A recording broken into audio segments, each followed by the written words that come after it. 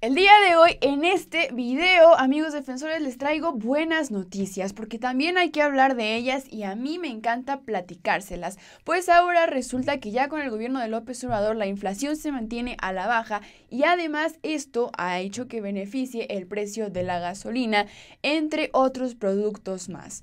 ¿Quieres saber cuáles son y cuáles son las palabras del presidente Andrés Manuel López Obrador respecto a esta gran noticia de la que les aseguro que ningún otro medio de comunicación habla. No lo van a escuchar en otro lado más que aquí y ojo, son datos correctos, son datos verificados. Quédate aquí en el defensor de la verdad.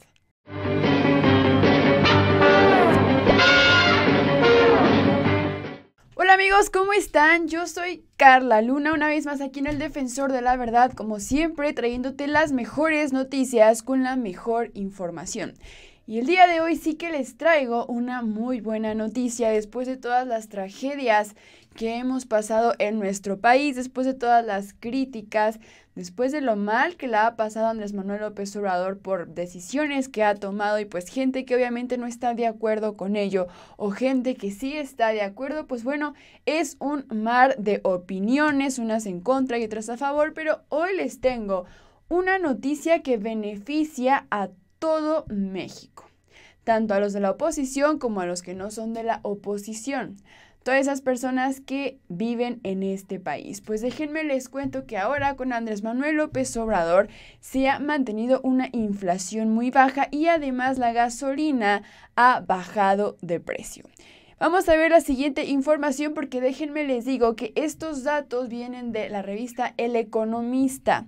Es una fuente de información bastante confiable. Ahora no es nada más porque lo dijo López Obrador, porque sí lo dijo el día de ayer en la mañanera, no. Ahora les traigo de verdad los datos. Esto no es en base a lo que dijo el presidente, sino en base de el INEGI, en base del economista y en base de muchas fuentes de información que son 100% verificadas. Tenemos en esta nota de Noticias ZMG que baja el precio de la gasolina y la inflación se mantiene en niveles bajos. Esta es una nota de información del economista. Acá tenemos la nota del economista para que vean que no solamente me baso en esta, sino también acá está. Nos dice que al décimo mes del 2019 la tasa de inflación anual en México se ubicó en 3.0%, ligando cinco meses consecutivos dentro de la meta establecida por el Banjico, que era del 3% más menos un punto porcentual. Esa era la meta y se pudo cumplir hasta ahora ya a 11 meses, porque ya estamos en noviembre, de lo que lleva el gobierno de López Obrador. Al décimo mes del 2019 la tasa de inflación anual en México se ubicó.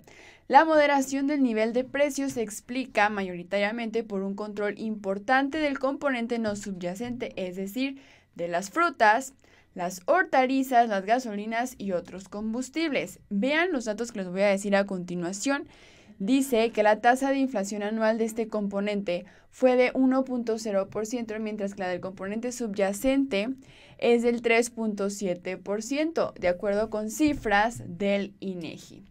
También haciendo la comparación con el índice nacional de precios al consumidor, registró un incremento del 0.5% de septiembre a octubre de este año, pero esta alza modesta en los precios se explica ¿Por qué? Por el encarecimiento de algunos energéticos por factores estacionarios, además de una subida en los precios de los alimentos preparados y algunos agropecuarios.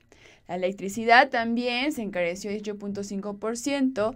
El gas doméstico, el EP, yo les había platicado que este se encareció ligeramente con una alza de 3.3% en un solo mes.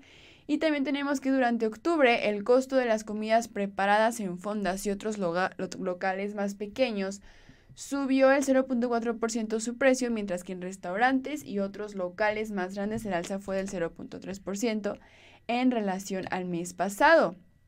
Nos dice que el aguacate, la naranja, el limón, la cebolla, la manzana, la papa, el pollo y la carne de cerdo registraron bajas importantes en sus precios. También la gasolina magna alcanzó una baja de 0.2% de septiembre a octubre del 2019.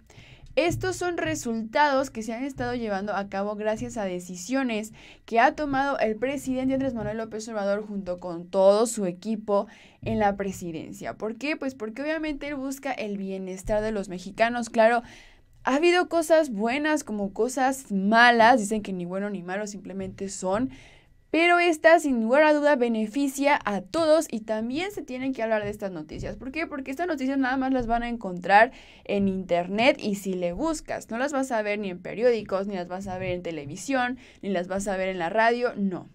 Solamente yo te las voy a platicar aquí en este momento para que ustedes estén enterados que también hay buenas noticias que nos benefician. No nada más hablar de pues las tragedias que suceden en nuestro país, sino también de los beneficios que hemos tenido. Vamos a ver a continuación la siguiente nota. Nos dicen que con AMLO México tiene la inflación más baja para un arranque de sexenio. Esto a comparación de otros gobiernos. Nos dicen que en el de Peña Nieto la inflación se ubicó en 2.18% en los primeros 10 meses en contexto de estabilidad de la economía mexicana y la esperanza de que las reformas impulsadas por el Poder Ejecutivo y respaldadas por el Legislativo impulsarán el crecimiento. La más alta para el mismo periodo fue el de Miguel de la Madrid con un 75.41%, con Ernesto Cedillo fue del 41.97%. Miren, aquí tenemos el aquí tenemos la tabla de una vez, nos dice, con López Obrador 1.60%, con Peña Nieto el 2.18%, con Calderón el 2.8%, con Fox el 4.5%, con Cedillo el 41.97%, con Salinas el 14.87%, con Miguel de la Madrid el 75.41, con López Portillo el 19 y con Luis Echeverría el 5.07%. Hasta ahorita López Obrador es el que ha mantenido más bajo en lo que lleva de 10 meses en el gobierno. También tenemos que la pobreza en México disminuye y es el mismo empresario Carlos Slim quien lo reconoce. Dice que este año se reparten 300 mil millones de pesos en diversos programas sociales, precisó el primer mandatario, además de informar que 35 mil millones de dólares entrarán este año vía divisas, producto del trabajo de nuestros héroes vivientes en el extranjero. Para que se den una idea de los cambios porque estos son cambios y también las cosas que están sucediendo, las tragedias, también se deben a algunos cambios que está haciendo el gobierno actual, en que cambiar las estrategias. Estos cambios han hecho que la pobreza en México vaya disminuyendo. Obviamente todavía falta muchísimo por hacer, pero ya es un avance. Esto que te estoy presentando son avances de los cuales les apuesto que no habían escuchado anteriormente. Tenemos que la inflación se mantiene baja, hay más dinero entre la población, lo dijo López Obrador el día de ayer en la mañanera. Le cuestionaron sobre la disminución del consumo en el bimestre julio-agosto. El presidente resaltó que abajo sí está circulando el dinero con los apoyos del bienestar, además de que nuestra moneda está estable, el país no tiene problemas de inflación y están creciendo el empleo y los salarios. Vean lo que dijo López Obrador en palabras textuales. El pueblo tiene recursos. Desde luego que hay pobreza, muchas necesidades, pero ahora hay más dinero circulando abajo que antes. Y eso lo puedo probar. Primero, porque se están dispersando fondos en beneficio de los pobres, como se hacía antes. Son 300 mil millones de pesos en este año. Aquí tenemos el tweet del presidente. Impulsamos una transformación en la que garantizamos las libertades. Conferencia matutina. Y fue Carlos Slim quien está incrementando el uso de servicios de la telefonía en el celular. Él se está apoyando con el presidente para poder dar mejores oportunidades de desarrollo y de crecimiento a todo el país. Y pues aquí tenemos que la inflación en México disminuye, fue lo mismo que dijo López Obrador en la mañanera, aseguró que hay más dinero, aseguró que está dispuesto a seguir trabajando para que este crecimiento, que a lo mejor no es el mejor en todo el mundo, pero que sí sea seguido, que vaya creciendo, creciendo, creciendo, creciendo, creciendo hasta llegar a un México en el que de verdad agradezcamos estar en este país. Pero bueno amigos, esta es toda la información que te tengo por el video de hoy. Si te gustó, dale like, pon en los comentarios todo lo que ustedes opinen. Si tienen nuevos datos, me encantaría que los pusieran porque a mí me encanta leerlos. No olviden suscribirse y darle en la campanita para que te lleguen las notificaciones de los videos que subimos diariamente. Me despido, mi nombre es Cara Luna para el Defensor de la Verdad y recuerden que la verdad nos hará libres.